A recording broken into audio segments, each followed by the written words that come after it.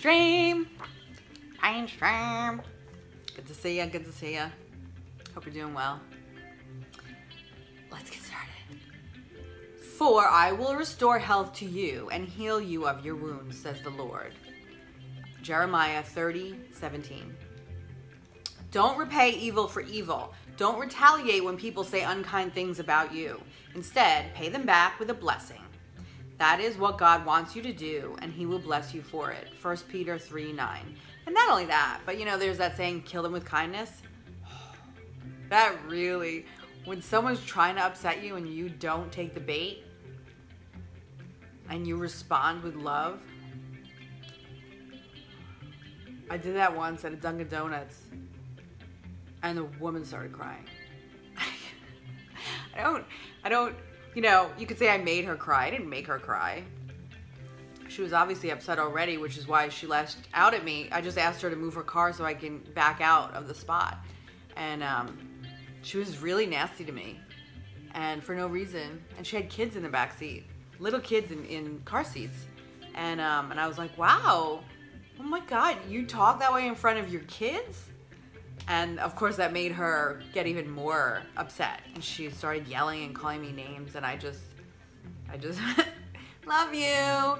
And she, she started crying hysterically and drove away. She was having a bad day. Clearly, I made her feel worse. I didn't mean to. I was just asked her if she could please move so I could get out of my spot. I don't know. But, no, if people are like that, it's probably because they're going through a hard time and you don't need to add to it. If you add to it, it's just going to make it worse. And did I add to it? Uh, I mean, maybe unintentionally, but I could have I could have matched her energy, and that wouldn't have done anything. But you know, maybe she cried and drove away, and maybe she did a little introspection and th- thought, why this this woman just asked me to back like move my car a foot. Why did i react like that? So who knows? Never pay back evil for evil to anyone. Do things in such a way that everyone can see you are honorable. Do your part to live in peace with everyone as much as possible. Dear friends never avenge yourselves.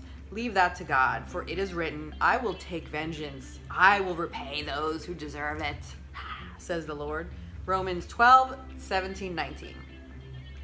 So I remember when I first learned this, I was like, oh, because I think I was in a church and the pastor said, like, don't don't try to get back at people. Just take the high road and then, you know, whatever they have coming to them from the Lord, who will uh, take vengeance, uh, is going to be way worse than anything you could do. And then you're just creating more um, negativity for yourself. So just, you know, let it go and, and trust that the situation will resolve itself. And so, like, I don't know if that's a good way to think of it, but I, I did think, like, oh, well, as long as they're getting revenge and it's way worse than I could ever do, that's better. So let me do that.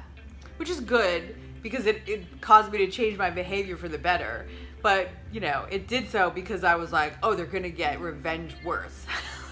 that's not good.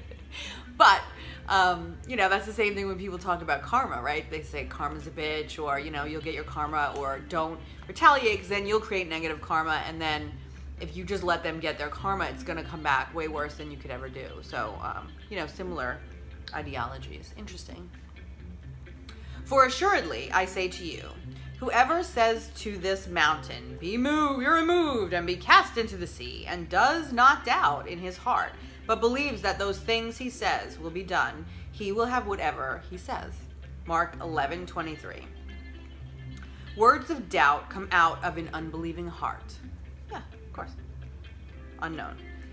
He who trusts in himself is a fool. Proverbs 28 26. Can you think about that in the election? When words are many, Sin is not absent, but he who holds his tongue is wise. Proverbs 10:19. Look to your health, and if you have it, praise God. Thank you, God. And value it next to conscience. For health is the second blessing that we mortals are capable of, a blessing money can't buy. Izaak Walton. You are so right, Izaak. Oh my God. Like, I, I have a new life. I was given a second chance at life. And um, you know, I, I mean, I kind of almost died, but um, but not like I almost like had a heart attack or something. But um, you know, I was very debilitated for a long time, for about ten years, and um, yeah, I found um, I found things that would help me and gave me my life back, and not only gave me my life back, but gave me the life um, kind of starting over from you know 15 years ago. This whole thing started 10 years ago, and so I got I got time back, right? I got extra credit. Um, so check out the Health Stream if you would like to find similar answers, because uh, I can't say enough about how thankful I am for my health, and really, without that, you kind of have nothing. So, anyway, have a good night. Hope you enjoy that. Peace out.